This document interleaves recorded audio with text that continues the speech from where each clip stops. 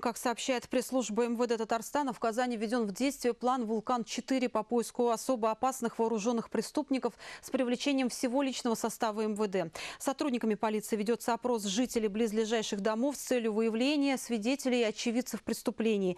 Под особый контроль и охрану взяты все важные объекты и работники ДУМ. Возбуждены уголовные дела по фактам покушения на убийство председателя Духовного управления мусульман республики и убийства начальника учебного отдела ДУМ Татарстана. Сейчас Ильдусу Файзову ничто не угрожает. Во время взрыва он получил ранение ноги, его прооперировали. Ситуацию держит на контроле министра здравоохранения.